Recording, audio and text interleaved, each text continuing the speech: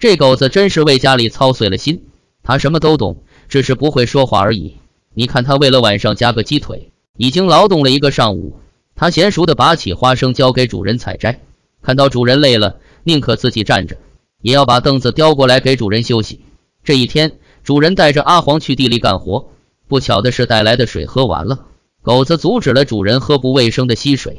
阿黄自告奋勇的回家里去取水，他一路狂奔跋山涉水。你看他那火急火燎的样子，拿了水转过狗头就走。他是怕主人等不及了吧？看着主人干活这么辛苦，阿黄使出啃骨头的劲儿帮主人扛袋子，他还抢着帮主人提菜篮子，不给他提这狗子还不乐意呢。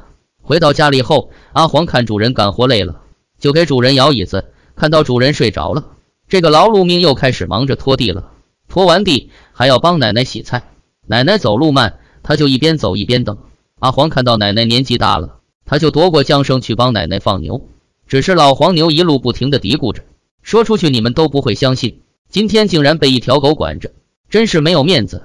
忙活了一天，阿黄正想着大鸡腿的事情，突然天空开始打雷了，他叼起雨伞就往外跑。主人去地里了，还没回来。